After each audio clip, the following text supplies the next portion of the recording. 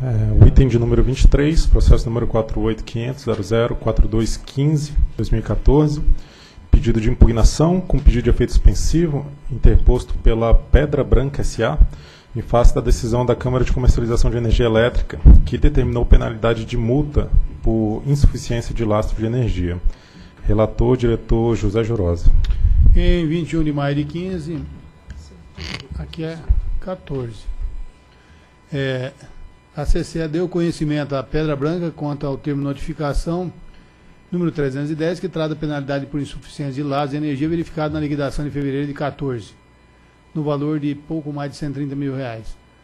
Em 13 de junho também de 14, errado aqui, a Pedra Branca apresentou contestação ao TN 310 e requereu o cancelamento da penalidade sob a justificativa de que a insuficiência de lastro foi causada pelo valor defasado de garantia física utilizado na apuração da penalidade. Em 18 de julho de 14, a Pedra Branca tempestivamente interpôs pedido de impugnação em face à deliberação do, do Conselho de Administração da CCE, quem deferiu a contestação ao TN 310, conforme deliberação emitida na sua 700, na, na, na sessão 741, de 1 de julho de 14. Em 22 de julho de 14, na reunião 746, o CAD, o CAD, é, após análise do pedido de impugnação em relação, é, não, impugnação em questão, deliberou por não reconsiderar o indeferimento diante dos argumentos de defesa expostos pela contestação ao TN resultando mantida a aplicação da penalidade. Em 31 de julho, a CCE, nos termos do artigo 29 da Resolução 545, encaminhou a ANEL pedido de impugnação apresentado pela Pedra Branca. Em 11 de agosto de 14, a sessão de sorteio público, fui, fui designado relator da matéria. E em 15 de agosto de 14, foi publicado o despacho 3.135, que negou efeito suspensivo ao pedido de impugnação da Pedra Branca, interposto em fase da decisão do Conselho de Administração da CCE considerando que não houve prestação de calção estabelecida no artigo 32, parágrafo 2 da Resolução 545, e por não encontrar presente o requisito ensejadores da suspensividade. É o voto. É o relatório, desculpe. Procuradoria. A Procuradoria não emitiu parecer nesse, nesse caso, mas aparentemente a CCE seguiu os normativos vigentes para aplicar a penalidade por insuficiência de lastro. Sendo assim, a Procuradoria opina pela presunção de legitimidade da decisão da CCR. Afastada a concessão de efeito suspensivo, nos termos do despacho 3.135, resta o exame do mérito do pedido de impugnação. Né? E na contestação ao TN 310, a Pedra Branca registra que a garantia física de 12,2 MW, utilizada pela CCE para fins de laço da eólica Pedra Branca, está defasada por motivos alheios à sua vontade. Assim, ponderando que a real garantia da EOL Pedra Branca deverá ser divulgada em breve, requereu o cancelamento da penalidade objeto do terreno 310, que foi definido pela CCE. Em 20 de 1 de 11, a impugnante protocolou o pedido de revisão do projeto do Parque Eólico de Pedra Branca em decorrência do aumento de potência instalado de 28,8 para 30 MW e variação da quantidade de aerogeradores. Em maio de 2011, a Pedra Branca complementou as informações referentes à ampliação da capacidade da eólica, a exemplo de certificação de medições anemométricas e produção de energia, onde, segundo informado, consta o aumento da garantia física. A SCG, por meio da nota técnica 203 de 2011, analisou o pedido de ampliação da capacidade instalada para 30 MW mediante substituição de 16 aerogeradores de 1.8 por 6 de 2 MW e 6 de 3 MW. Assim, por meio do disparo 2537 de 2011, a SCG aprovou o incremento de potência instalado na usina bem como autorizou a substituição dos aerogeradores, sem contudo alterar sua garantia física, por não deter competência para tal. Por tal razão, a referida nota técnica, a SCG advertiu que o agente deverá solicitar à EP o recálculo da garantia física da central geradora. Quanto ao risco de que o recálculo incorra a garantia física inferior necessária para atender os contratos de comercialização de energia no ambiente regulado, cabe observar que, conforme edital do certame, tais contratos impõem penalidades geradoras, caso a energia contratada não seja devidamente disponibilizada para seu suprimento. Dessa forma, o pleito corre por conta e risco do titular do empreendimento e não há necessidade de determinações adicionais por parte da ANEL nesse sentido. Apesar da ressalva da nota técnica, na impugnação proposta interposta, a Pedra Branca alega que a ANEL omitiu-se quanto à alteração da garantia física e que, visando corrigir o procedimento, em fevereiro de 14, encaminhou à SCG solicitação de adequação dos, dos dados de garantia FIS do parque eólico, de 12.2 médio para 12.9 médios. Segundo informa o agente, o pedido de adequação de garantia FIS teve por finalidade evitar sua sistemática penalização por falta de lastro marginal na contabilização mensal realizada pela CCE. De fato, conforme informou o CCE, o agente vem sendo penalizado desde a contabilização de maio de, de 13. Então está aí todas as penalidades. Cada vez vai aumentando um pouco, né? E é. Entretanto, a Pedra Branca só apresentou contestação ao TN em fevereiro de 14 e somente em junho de 14 encaminhou o pedido de adequação de garantia física ao MME, a quem compete autorizar tais alterações. Diante desses fatos, é forçoso a delonga a inação do próprio agente. Por sua vez, o agente entende que, caso a nova garantia física tivesse sido publicada logo após o protocolo de requerimento em 26 de 2 de 14, não haveria insuficiência de lastro na liquidação de fevereiro e, por consequência, não incidiria penalidade contra a Pedra Branca. Ora, um mero protocolo do pleito apresentado à ANEL em fevereiro de 14 não tem o condão de isentar a agenda da penalidade por insuficiência de lato. Ademais, a competência de homologar a alteração de garantia física não é da ANEL, mas do MME. E nesse sentido, vale mencionar que o relator, ao apreciar a contestação da Pedra Branca, ao TN 310, fez constar do voto a observação de que o próprio agente cita que, quando em maio de 2011 requisitou a ANEL o aumento de potência de seu parque eólico, não fez solicitação explícita para alteração da nova garantia física da CGE Pedra Branca, o que foi efetuado apenas em 26 de 2 de 14. Por oportuno, cabe notar que não houve omissão por parte da ANEL em relação ao aumento de garantia física. A advertência na nota técnica mencionada no parágrafo 16 afasta o argumento de omissão. Na ocasião, a ANEL destacou que, de forma clara que o agente deveria solicitar o recalque de garantia física à AEP e que o pleito correria por sua conta e risco. Aparentemente, o agente só alterou, atentou para tal fato em junho de 14, quando requereu junto ao MME a alteração da garantia física, de 12,2 médio para 12,9 médio, em razão do aumento de potência instalada da usina autorizada pelo disparo 2537, que ocorreu em 2011. O agente alega que a falta de reconhecimento formal da real garantia física não poderia motivar a sua punição, e pior ainda por não ter culpa no retardo do seu reconhecimento. A princípio, tal argumentação pode parecer razoável, mas por si só não autoriza a CCE a deliberar fora das regras de procedimento de comercialização que está sujeita. Ademais, registra-se que, desde a publicação do Decreto 5163, de 2004, a garantia física de empreendimento de geração é definida pelo MME, e dentre as competências da CG, inclusive aquelas delegadas pela Portaria 1850 de 2011, não consta o recalque de garantia física.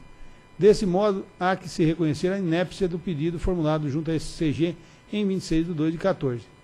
A impugnante alega que a questão era tão trivial que sequer cogitou da existência do recálculo e que, passado certo tempo, se deu conta da sua ausência, ensejando o pedido protocolado na ANEL em 26 de 2 de 14, e que, diante do silêncio da agência, se viu obrigado a repetir o pedido junto ao MME. Se o agente, por inércia, negligência, imperícia ou outro motivo qualquer, não tomou as medidas necessárias para o sucesso do pleito, não pode agora imputar a culpa da administração pela demora de, na retificação. Não é razoável, após 36 meses, período decorrido entre o despacho 2537 de 2011, que aprovou a alteração da potência instalada, e o pedido protocolado junto ao MME em 8 de junho de 14, quase quatro anos, o agente atribuir demora da administração ou pior, crer que bastaria o protocolo do pleito para ter seu imediato reconhecimento e assim obstar a aplicação da penalidade da CCE na liquidação de fevereiro de 14. Da mesma forma, no ponto de vista da CCE, o pedido encaminhado no MME em junho de 14 não é condição suficiente para isentar o agente da penalidade por insuficiência de lastro. A impugnante alega que o lastro existente é que não foi responsável pelo retardo de seu reconhecimento formal, assim como estaria isenta de penalidade segundo disposto no parágrafo 6 do artigo 3 do decreto 563 que, em caso precedente, a ANEL concedeu prazo para obtenção de nova garantia física junto ao MME. A seguir, analisa as ponderações suscitadas pelo impugnante. E, de acordo com o parágrafo 1 do artigo 2 do referido decreto, o laço para a venda de energia é constituído pela garantia física proporcionada por empreendimento de geração próprio de terceiro, e, nesse caso, mediante contrato de compra de energia ou de potência. Tomando por base a garantia física já calculada, o agente iria comercializar a energia acima do reconhecido no auto de outorga, sob o fundamento de que haveria provável emissão pelo ato do MME reconhecer um aumento de garantia física do seu empreendimento. Considerando que a CCE não pode utilizar outro valor de garantia física senão aquele vigente, fixado na portaria MME 123 de 2011, O cálculo de laço do agente foi realizado de forma correta, ao abrigo das regras vigentes, ensejando a notificação ao agente por não ter apresentado laço para a venda de energia para garantir 100% dos seus contratos, conforme determina o artigo 2 do decreto 563. A despeito da sinalização favorável da ANEL, que via o despacho 2537 de 2011 alterou a capacidade instalada da usina para seu valor real, tão somente o reconhecimento do, aumento da garantia física pelo MME poderia incrementar o laço de energia a ser utilizado pela CCE na contabilização mensal.